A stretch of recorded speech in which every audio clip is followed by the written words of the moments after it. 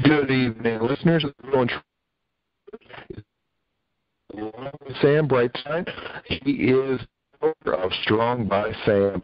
Sam, thank you for joining us today. Hey, thank you for having me. I appreciate it. So, what is Strong by Sam?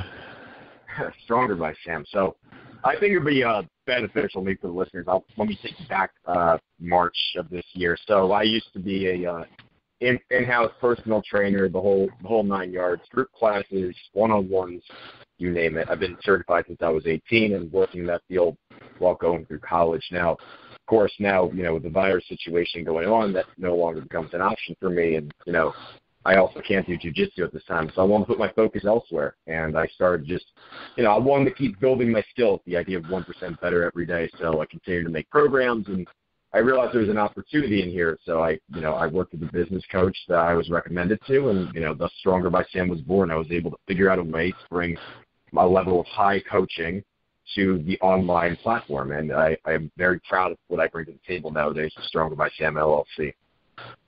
That is awesome. I was going to say we love that are you know family owned operated businesses that you know people are uh, pulling up by their own bootstraps, and especially one like yours where you're changing lives, and uh, it's a really benefit to your uh, your subscribers. Hundred percent. I looked at it. I mean, of course, there's there's a financial opportunity here, but I looked at it more as okay what do you want to do with yourself? I mean, there is only so much financial you can do with the in-person stuff, but I looked at more in the idea of that, okay, if I work online, I could theoretically touch infinitely more lives than I ever could by working in a single county in New Jersey. It's just, I love the people I worked with, but it was just the idea that I can do, I, my reach can go so much further. I think I was, I think I'm in like seven or eight different states. I don't can't really count top of my head right now, but in a short amount of time, I was able to conquer a lot of land, and it was just, you know, I'm thinking if I can do this during this uh, horrible time that we're all facing, you know, what can I possibly do when everything's back to normal, when I have all the resources, people are fully employed, when the gyms are open, it just, you know, the sky is really the limit, and I'm I'm realizing new things every day and continuing to learn, and uh, it's been a great journey so far. Many great connections. I, I love making positive connections with people and uh, and keeping on the journey. I, I just look to help people at the end of the day. That's that's really I'm I'm trying to do this out, out of uh, you know the goodness of my heart. Definitely. I was going to say that's the great thing about your program, along with uh, technology, being able to uh, reach more people. You're being able to help more people because of your program. I mean, I understand you're getting some amazing results. Yeah, people, you know, I really tell people, well, my job is not only to keep you accountable for your actions, but I want it so that if you put in 100% effort, you should expect those results back and then some.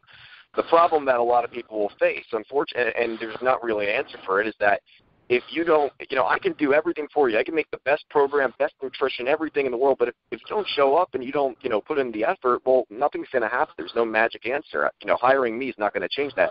I'm here to give you the best, most efficient path possible and encouraging you along this journey.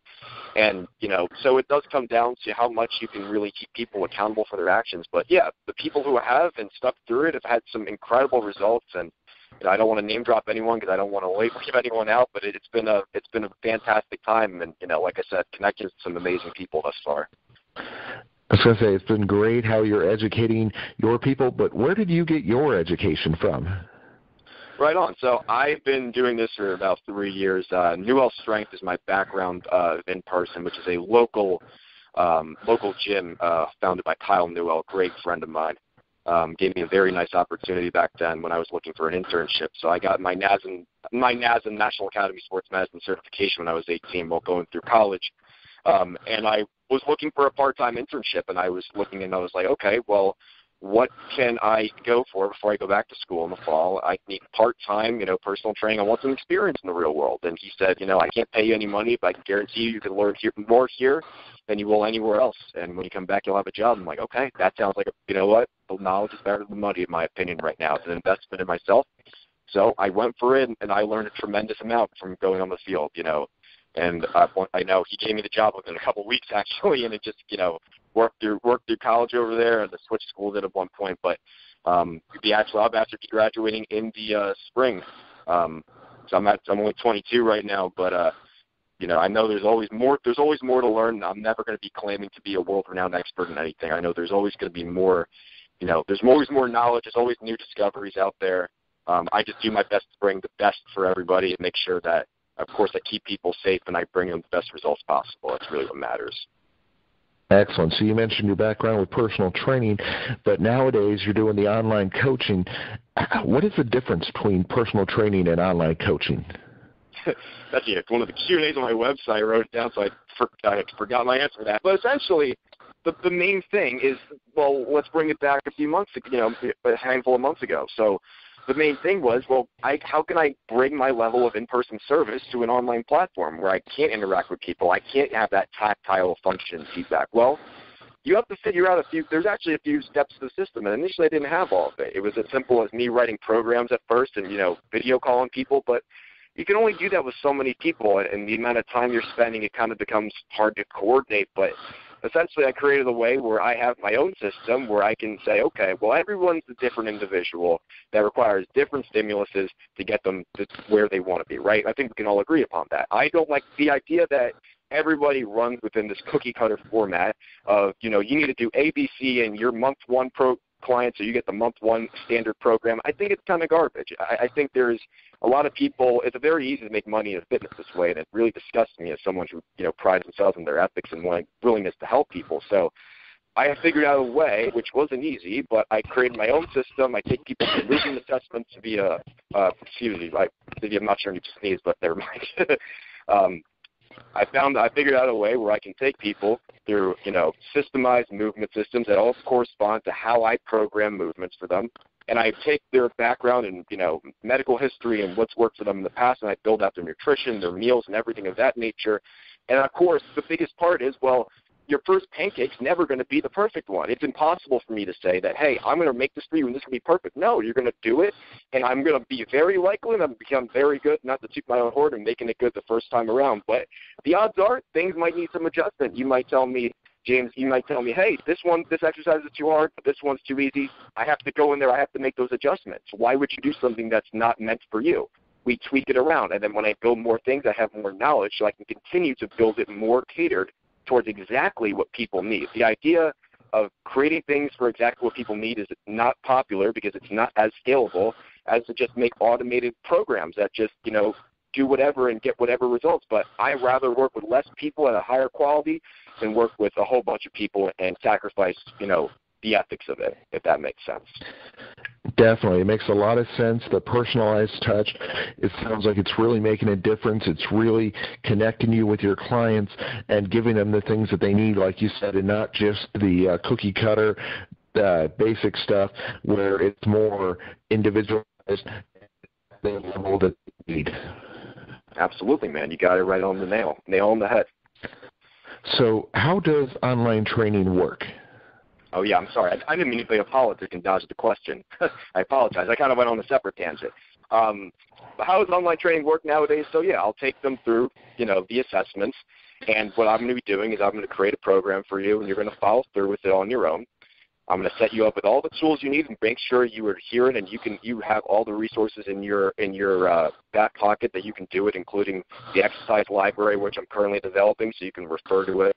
All stuff that I've created, so you can make sure, hey, I'm doing these movements correctly. You have videos that say, hey, okay, this is an idea, but you can always have 24/7 access to me. So essentially, it's you know the idea that hey, I'm I can't. It's impossible for me to be there 24/7 for everybody, like right right in front of them. But I'm always available virtually. So if anybody always has questions, they can always ask me. If they have, if they need any motivation, if they need anything of that nature, they reach out to me. But the simple as really, I create the stuff for them, they follow through, and we adapt the game plan and continue to move forward until the results are achieved. If that makes sense. Yeah, it sounds phenomenal. I mean, it sounds like that's a way that uh, the programs, as uh, you go along and as uh, you have more clients, it's just going to improve each time that you work with somebody. Absolutely, exactly, exactly that. I think you know, and people will do the whole Zoom thing. I personally am not a whole fan of it. Meaning, and to to give more detail, the idea of hopping on a virtual thing and like, hey, you know, do it this way, and then it becomes difficult of adjusting the camera. I've done it. It's okay if people really want to do it. I can, you know, I give it a shot. But I, I always tell them, listen, it, it's it's always going to be better off, you know, follow through, follow the videos. If you need help on a certain movement, you don't feel 100% confident. I'm here for you. Let's make sure you're 100% confident in doing things. Because if you're not, then it's not going to work out in the long run. So you know, I, I'm I'm still adapting and figuring out the absolute best way to do it. But I can tell you without with absolute certainty that this is going to be the way things go in the future. It's infinitely more affordable, just based off the fact that you can work with a lot more people, and I don't have to be in a gym at 7 a.m. You know, at this particular location, only focusing on a single individual at a time. I can have a lot more people working working with me, but I can give them that same level quality service and you get more. The fact that you have access to me all the time virtually, the fact that you have the nutrition. Most personal trainers will, quite frankly, and not not to offend anybody, they're going to count the ten, hand your water bottle, and tell you good job. And you know what you price that at is is you know whatever that's worth to you. But I think there is definitely a time and place for that. People who are you know the people who are insecure, people coming off catastrophic injuries who really need that. Physical therapy is a beautiful example of that. I think that should always be in person, but for the general person who wants to get in shape, wants to take their life back, increase energy, increase confidence, I think this is the most sensible way to, to streamline your way to your goals. We only have so much time on this earth, so why why would we wait around and try to figure it out on ourselves? People already figured it out. I know what I'm doing. I'm still learning every day. I'm the professional. Let me take care of it, and let's bring you on that path, and let's get you toward, towards your goals. We're going to live a happier, longer, more quality life. So it sounds like you're really different from the other coaches. I, I mean, I try to differentiate myself because you know, if, if everyone, the fact is not everyone's successful, and if I was like everyone else, then why would people want to work with me? The, the reason you work you work with me is to get you know to get me at the end of the day, the different touch. If you if some people, I'm not gonna lie, they don't vibe with me, and, and it doesn't work out all that well. And I'm just like, hey, you know what? I, I kind of I'm pretty good at screening that out in advance, but you know, the people, there's always going to be that case scenario, but yeah, I try to be different. I'm trying to, you know, reinvent different ways to do things more efficiently, but I never want to sacrifice the client experience. I could easily make, you know, 12 programs and just send them out to my clients, and I'd save myself so much time. But I'd be sacrificing the experience for them. I'd be sacrificing their results. I wouldn't do that. I'm, you know, me creating an exercise library so we're all we're all on a consistent page exactly how to do it, high level production and everything, the whole nine yards this increases the quality of service. It does save me time, but it makes it so hey, you can stream this on your TV, on your laptop, phone, tablet, wherever. You have unlimited, you have full access to it. This is an incredible resource. This increases the level of service. So I'm always looking for ways to you know bring it to the next level. I'm I'm always grateful, but I'm never satisfied. I know there's always more I can do, continue to uh, improve upon.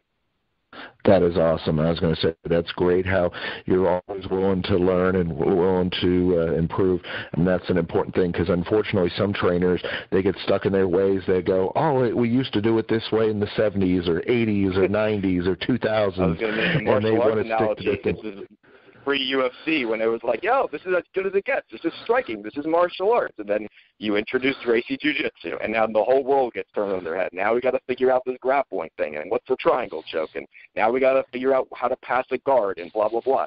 And then you have you don't know what you don't know until, and you should never be set your ways. Always assume that there's someone out there smarter than you, and always assume that there's more out there to learn. And be optimistic. You know, get you know keep learning one percent better every day. It's what I always say. So it's a uh, I, I'm 22, man. There's no way I could ever be an expert at this young of an age. I think I'm damn smart. I think I'm pretty good at what I do. Don't mind. I don't mind saying, but I know there's always going to be more to learn. There's always going to be an extra thing I can bring or deliver. You know what I'm saying? So there's there's no reason I'm gonna I'm gonna you know satisfy be satisfied at a single level of things. There's always the next level.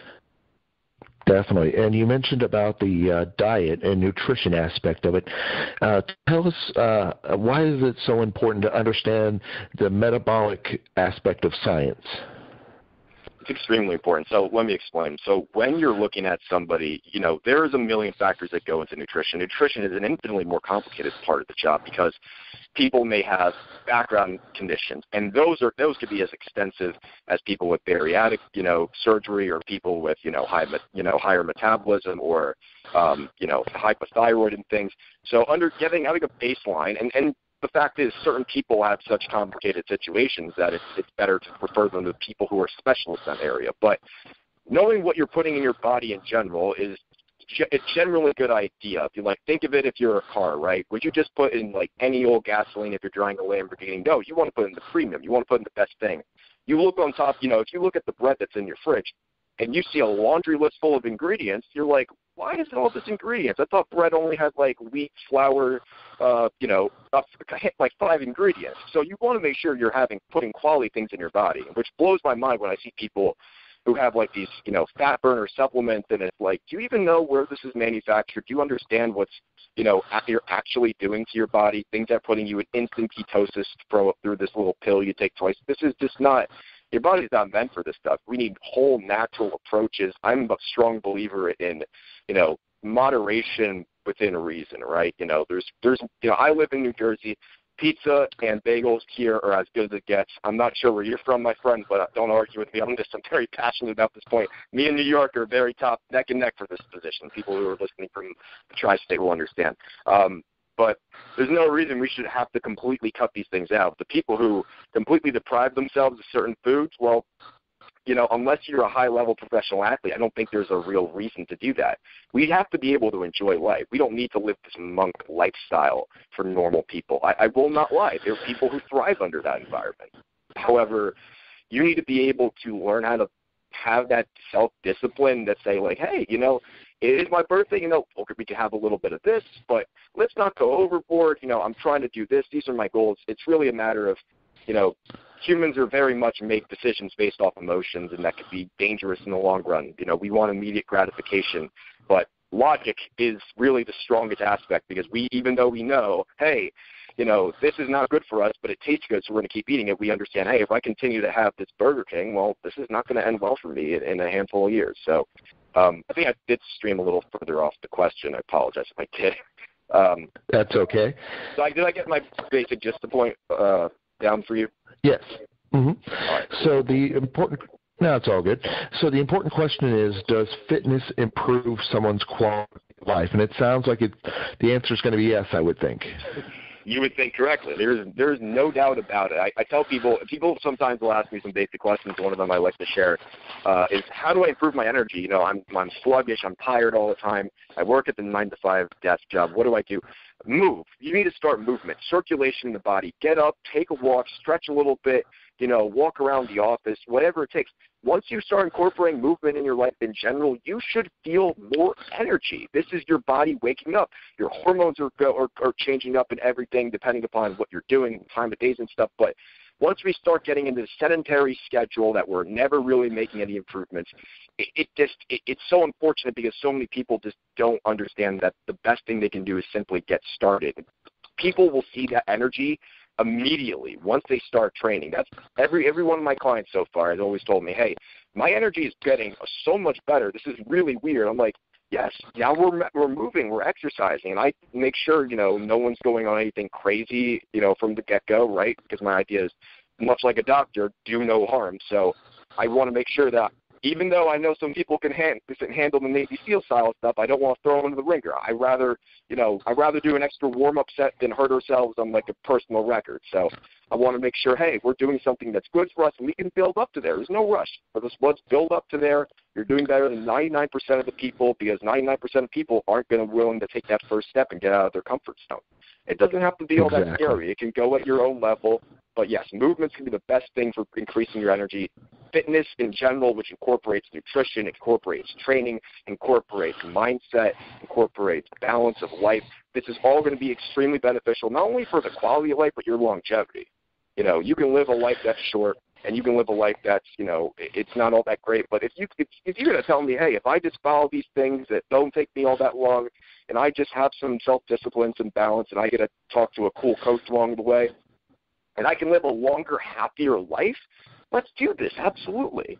And there's a lot of unfortunate and miserable diseases we can avoid along the way. I've seen some people in horrible places and it, it it bums me out because these people waited unfortunately too late. You know, the best time to get started is the second you realize, hey, maybe I should do something about this. And and um, you never want to wait till it's too late. You literally never know what tomorrow is going to bring. I was in I was in jujitsu and we were making a joke like, oh, what's going on with this virus situation? And then within a week, academy's closed. Within a week, I can't go to the grocery, toilet paper. We don't know what's going on. and, and I, you know, it, it was crazy. So you, so you don't wait to start. Is that's why I tell people. I mean, the the recency bias to that example, of course, but just in general, like just get started, do something, get a little out of your comfort zone. I'm here to make that process as smooth and transitional as possible, so that you know, it's. I just want to help people, man. I don't know how else to say it. So, speaking about getting started, I understand that you offer a uh, free initial consult. Absolutely. Why would I, I think that the idea of consultation should be more of an invitational, like, hey, we're going to have a conversation. I want to get to know you. It's actually my eh, consultations are a little different. I kind of run a two-way screening process because the coaching goes two ways. You know, someone you know if someone pays me a million dollars to work with them but they are just the most unbearable people and and they're just it, it just doesn't become worth my time at certain points right so I want to make sure this person's hey, someone who actually wants to make a difference in their life, someone who's genuine, some someone they don't have to hold all my interest in everything. They don't have to be a jiu-jitsu guy or anything, but you know they have to be. A, I want them to be a good person. I want you know if they want to make that difference, that's pretty, that's normally enough for it. Yes, free consultation, 30 minutes. I'm going to talk about the goals. We're going to make a game plan, and you know if, if it doesn't work out between you know I'm not sure if you're the right kind of person for this. You know I'll be happy to give people some free information. At the end of the day, I look at it more as it's a weird standpoint for business, but people say always be closing. I think of it as always be connecting. I always want to make positive social connections with people. You never know who you're going to meet. You never know what kind of you know, nice people along the way. You tell me that it wouldn't be nicer if someone held the door open for you when you went to the, the food store. No, of course it would be great. So I always look to make those positive social connections. But yep, 30 minute free consultation. I offer it for anybody who is interested. So that's great. You start out with the uh, free consultation, and then I understand you have a satisfaction guaranteed. Yeah, man. I mean, you know, that's I, I've never had somebody who has disliked my service. I've had people, and I won't lie, there are people who have had some unfortunate situations, especially recently with unemployment, and it's just like, oh, well, I can't continue. I'm like, hey, listen, so what we're going to do is we're going to stop real quick, and we can resume whenever you're ready to come back up. I, I know, you know, we're in a contract for three months, but no worries. We're just going to go and move forward whenever you're ready. Don't sweat it. I'm going to do right by people. I, I feel like – I don't want I don't ever want to take the business to a point where I can remove that human aspect. I want to keep as much of the human aspect in there as possible while maintaining, you know, the most amount of uh, you know, efficiency with my time. You know, making those videos for example was a great way of me to uh, you know, a great use of my time because now I don't have to do those videos anymore and explain over a video call unless people specifically need me to. On the other hand, you know, people who you know, I, I don't want to be like, oh, sorry, talk to my customer service agent. Oh, hang on, email three to five business days. Well, no. Hey, listen, you need. I'm sorry. Oh, I, your kid needs a surgery. Listen, I got you. I'm gonna refund you for this month. Take care of that. I know you're interested. Come back when you're ready. I want to keep that you know, that small business feel into something that's ever expanding and growing. You know what I'm saying? I always want to pride myself on being a good human being with, you know, with morals at the end of the day. Sounds great. It sounds like Stronger by Sam is something that our listeners should check out and definitely get involved with. So, uh, Sam, before we let you go, where on social media, where on the web can they find out more about you and your program? Sure. Appreciate hey man, I appreciate you calling up and, and setting this up with me. StrongerBySam.com for everything. Um, Instagram Stronger by Sam, Facebook page Stronger by Sam LLC. And listen, anyone who's looking to make that positive change in their life, you know, I'm willing to have a, a conversation and and see how I can help you guys out. You know, I really want to help as many people as possible. That's the mission. So, you know, anyone who wants to reach out and support, I appreciate you and I love you all. So, James, I appreciate you uh, spending the time with me. I thank you. Uh, nice time on this uh, Wednesday evening, and I hope you have a very Merry Christmas, my friend.